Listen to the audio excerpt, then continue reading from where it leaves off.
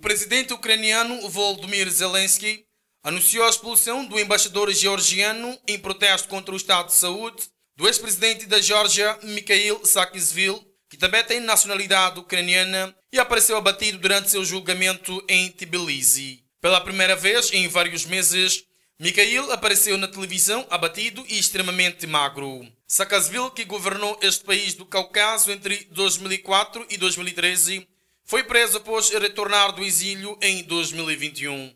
O mesmo é alvo de acusações de abuso de poder que vários grupos de direitos humanos dizem ter motivação política. A medida é uma ação de protesto da Ucrânia contra o estado de saúde do ex-presidente, que também tem cidadania ucraniana adquirida durante o exílio naquele país. A Geórgia é acusada de continuar a torturar lenta e cinicamente o antigo líder. O mesmo está em greve de fome há quase dois anos, foi julgado à revelia na Geórgia por abuso de poder e condenado a seis anos de prisão. Por sua vez, os médicos asseguram que o ex-dirigente corre risco de morrer pelos problemas de saúde que desenvolveu naquela prisão. As autoridades georgianas, ao contrário, afirmam que ele está a receber cuidados médicos adequados. Já em 2021, recorde-se, foi detido após regressar ao país para apoiar a oposição nas eleições municipais. Mikhail Saakashvili está preso desde então